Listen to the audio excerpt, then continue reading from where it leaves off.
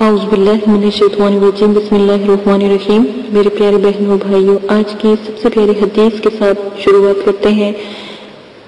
जखीरा अंदोजी, हज़रत अब्दुल्ला बिन उमर रस्तलान से रवायत है कि रसूल करीम सल्लल्लाहु अलैहि वसल्लम ने इरशाद फरमाया, जो शख्स 40 दिन तक गल्ला रोक कर रखता है, यानी अपना माल या अपना अनाज रोक कर रखता है और उसके महँगे होने का इंतज़ार करता है, वो अल्लाह ताला के जिम्मे से बुरी है, यानी अल्लाह पाक उस चीज़ को बुरा समझते हैं और अल्लाह ताला इससे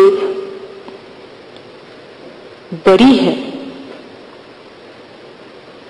यानी अल्लाह पाक जो सजा फिर मुंतखब करेंगे, उससे वो कभी बच नहीं पाएगा।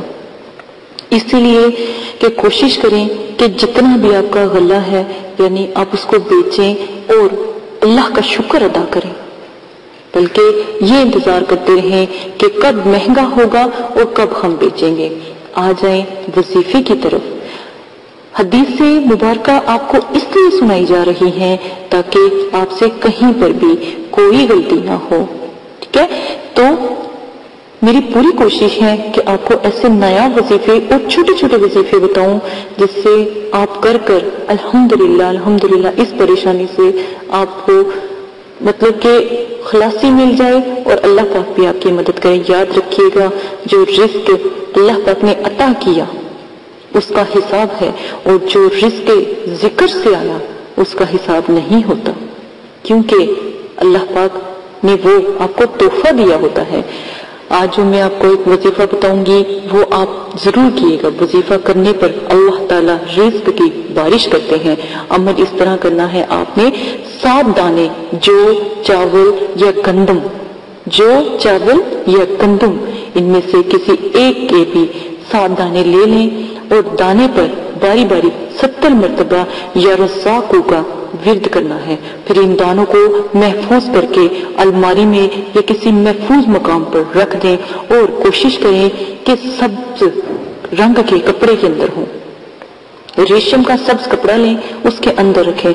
ये अमल आप आम दिनों में भी कर सकते हैं, लेकिन शब बरात की रात, यानी शब बरात की रात वो रात होती है जब अल्लाह ताला अपने फरिश्तों को पूरे अगले साल का रिस्क यानी हिसाब किताब मरतब करने की हदायत देते हैं, जिसमें रिस्क ज़िंदगी और मौत वगैरह शामिल है। आप शब वारात की रात ये अमल कर लें। इनशाला रहमत रब की पूरा साल रिस्क की बारिश होगी और आप पूरा साल खुशी से गुजारेंगे, तंगी से बचे रहेंगे। ये छोटा सा अमल है, करके देखिएगा, अपनी इस बहन को याद रखिएगा। अगर अब तक आपने हमारा चैनल सब्सक्राइब नहीं किया तो हमारा चैनल सब्सक्राइब कर लें, इजाज़त दें, अपना ख्याल रखिएगा। अल्लाह हाफिज। बहुत से लोगों की फरमाइश पर कि हमें जादू है, हमें ऐसी परेशानी है, वैसी परेशानी है।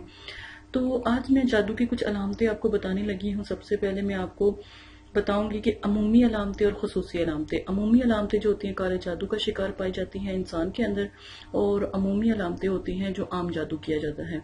यानी कि ख्वाबों में नज़र आना और चीज़ों का नुमाया होना।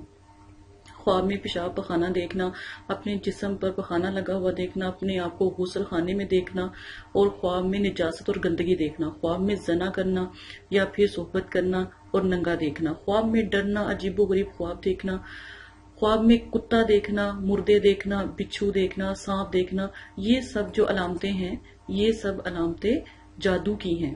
काला जादू जो आया है, वो इंसान जब काला जादू की तरफ़ मुंतकिल होता है तो वो किसी न किसी से नफरत करता है या उससे बदला लेना चाहता है। और काला जादू तभी इस्तेमाल किया जाता है जब वो ईमान से खारिज हो जाए। आप लोगों को पता भी नहीं होता और आप लोग ईमान से खारिज हो जाते हैं जो लोग जादू करवाते हैं या फिर काला जादू करवाते हैं। जा, जादू कैसा भी हो ईमान से खारिज कर देते जादू की पहली अलामत जोड़ों में दर्द होना दूसरी अलामत बदबूदार पखाना आना पेशाब में बहुत तेज स्मेल हो जाना पेट का खाया पिया गायब हो जाना यानी जो कुछ खाया है वो आधे घंटे में खत्म हो जाना। पेट में दर्द महसूस होना दस्त आना और बदहजमी हो जाना।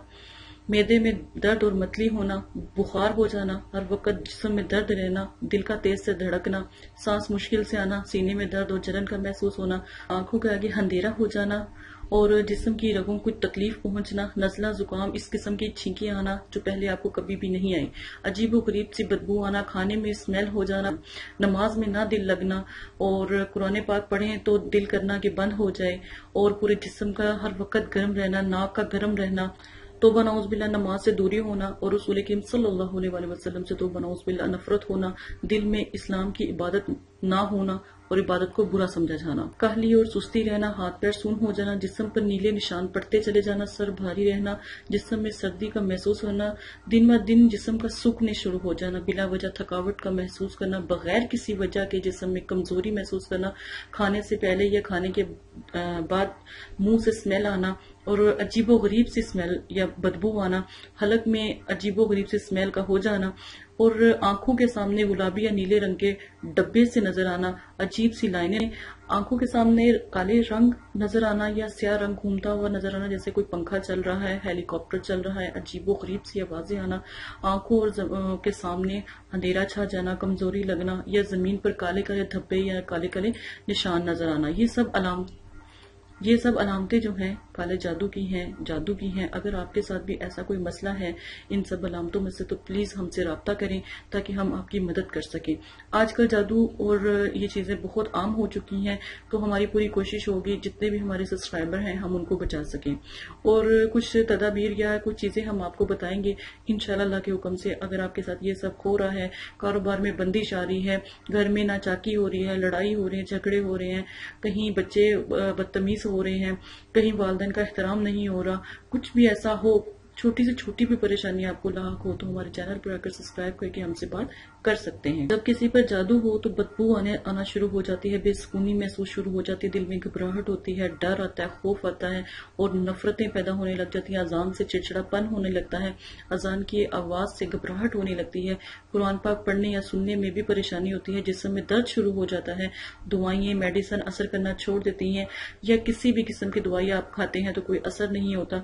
हर काम में जल्दी हो जाना हर काम की जल्दी होने की आरसू करना, कोशिश करना, दुकान पे अगर कोई चीज़ लेने जा रहे हैं तो इंतज़ार करने से परेशान होना, लड़ना, झगड़ना, या फसाद करना और बेचैनी महसूस करना, इंतज़ार न करना, जिसम में कीड़े से काटना, जब गौर करो तो कुछ भी ना नज़र आना।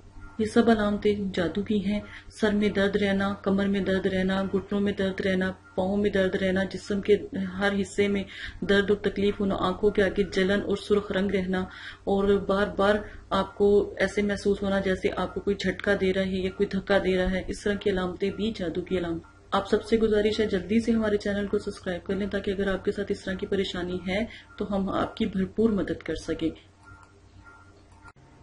और रही बात गैबी मोकल की तो आज मैं आपको गैबी मोकल के बारे में भी बता देती हूँ। अमल, आपने कुछ भी नहीं करना होता, आपको एक रिकॉर्डिंग दी जाएगी, वो आपने सुननी है। और तीन से सात दिन में मोकलीन का आना जाना शुरू हो जाता है, ख्वाब में आना जाना शुरू हो जाता है। फिर आपके आस पास ऐसे लगता है जैसे कोई ना कोई रूहानियत ज़ाहिर हो रही है। गैबी मोकल का ये अमल है। गैबी अमल मोकल के अमल में पहले आपको इस्तारा करवाना पड़ता है। फिर हम आपकी तरफ़ मोकल को भेजते हैं। पढ़ाई हम करते हैं, मोकल आपकी तरफ़ हाजिर होते हैं। ठीक है? आपको रिकॉर्डिंग दी जाती है, वो आप सुनते हैं और अल्हम्दुलिल्लाह जो है मुक्लिन की हाजिरी होना शुरू होती है। फ़ायदा उसका ये है कि आपका रूहानियत में भरपूर मदद करते हैं, आपके हर काम में मदद करते हैं, छोटे से छोटे काम में आपकी मदद करते हैं, आपकी मुश्किलें आसान करते हैं, कोई भी दुआ हो उसकी कबूलियत अल्लाह पाक से करवाते हैं और आपके ऊपर कभी कोई जादू नहीं कर सकता, कोई साहर नहीं कर सकता, कुछ भी नहीं कर सकता, आपकी भरपूर मदद करते हैं। गैबी मोकल आपको रिजत से बचाते हैं, अगर अमलियात करते हैं तो गैबी मोकल अमलियात में कामयाबी के लिए आपके साथ देते हैं, अल्हम्दुलिल्लाह। तो गैबी मोकल का अमल ज़रूर करें। अमलियात से पहले आपसे गुजारिश की जाती है, अगर अमल करना चाहते हैं तो गैबी मोकल का अमल पहले करें। आप कहाँ रहते हैं? आपका नाम, आपकी वालदा का नाम, आप ज़रूर सेंड करें ताकि आपका इस्तारा पहले किया जाए। बहुत से लोगों की गैबी मोकल में जो है, मेल्स आई, लेकिन जिस जिसका नसीब था, ये जिस जिसके नसीब में पढ़ाई थी, हमने सिर्फ़ उनको दिया है।